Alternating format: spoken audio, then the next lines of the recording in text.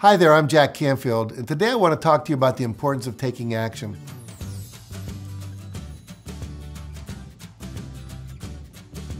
You know, there's an enduring axiom of success that says the universe rewards action, not thought.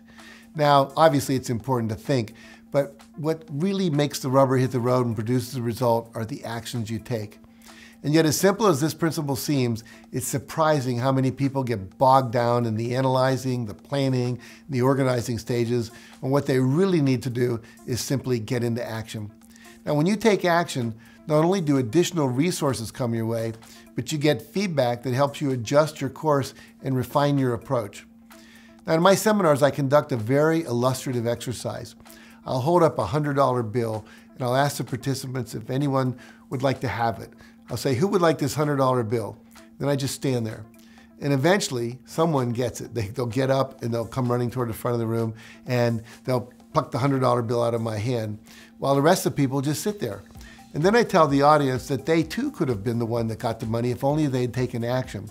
Now, the truth is, while most of us know about earning money, making things happen, and bringing about change in the world, only a surprising few get to have all the abundance, all the glory, and all the satisfaction that this world has to offer, simply because they are the select few who consistently take action. Taking action is the one thing, the most important thing that separates winners from non winners, the haves from the have nots, the high achievers from the everyday people. Or perhaps you've watched as a coworker launched a new project that included your ideas, only to realize that you stood by while you could have taken action.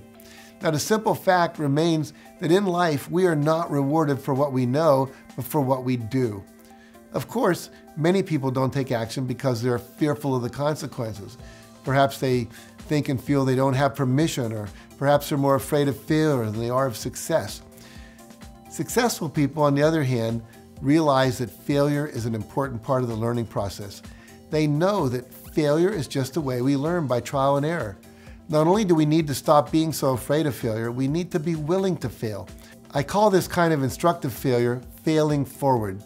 Simply get started, make mistakes, listen to the feedback, correct, and then keep moving. Keep moving forward toward your goal. Now, of course, one major benefit of taking action is that it's the key factor in putting the law of attraction to work in your life as well. You might remember a blockbuster movie called The Secret, where a number of other teachers, including myself, talked about attracting what you want into your life. First, you have to ask for what you want. Secondly, you have to believe it will come about. And finally, you have to create a vibrational match or an emotional match in order to receive the results when they come your way. Now, when you're in action, whether it's doing research, connecting with people, finding ways to accomplish a goal, taking the actions that would accomplish that goal, you are sending a powerful signal to the universe that you fully expect and anticipate meeting that goal or enjoying that experience soon. After all, you wouldn't be doing all that work if you didn't expect to be living that new life sometime soon, would you? So, a powerful strategy to get you into action and keep you in action is something I call the rule of five. Every day, do five things that will move you closer to your goal, five concrete action steps. If you're self employed, do five things to grow your business.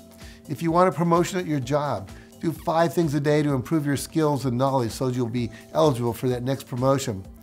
And even if you accomplish just five things each week, that's more than most people do in a month to achieve their dreams. Now, I'm talking five things a day. Literally, you're going to quantum leap yourself to a whole new level. I can remember back when I was building my speaking career, I would send out five letters a day to school districts and program directors for educational conferences for teachers and counselors and school administrators. And later, when Chicken Soup for the Soul was published, I would send out five free books a day to companies who could hire me to speak at their next industry event or their sales meeting. Now, I want to leave you with some homework. Practice your five things a day habit, and after three weeks, not only will you have taken major action toward your life goals, you will have developed a new habit of being proactive in creating your future. And so, to hold yourself accountable, go ahead and leave a comment below on five specific things that you'll commit to doing in the next 24 hours that will bring you closer to your goal. So, in closing, I'll leave you with one of my favorite success quotes. It's by John Ruskin, who wrote, What we think or what we know or what we believe is in the end of little consequence. The only consequence is what we do. So make sure you take action. So remember, without action, nothing happens. So to help you get into action, I want to invite you to tune into my Your Extraordinary Life Plan webcast, which will teach you how to set and accomplish your biggest goals and create the life you want. I'll teach you how to create awareness for where you want to go, see the big picture, and create an action plan to get there. If this sounds like something you'd like, click to sign up for the webcast. Thank you for watching, and remember, nothing will change for the better until you do. Now, if you found this video helpful, make sure you like it, share it with a friend who may need it, and subscribe to my channel for more videos like this one. And for some additional resources on taking action, make sure to visit my website at jackcanfield.com.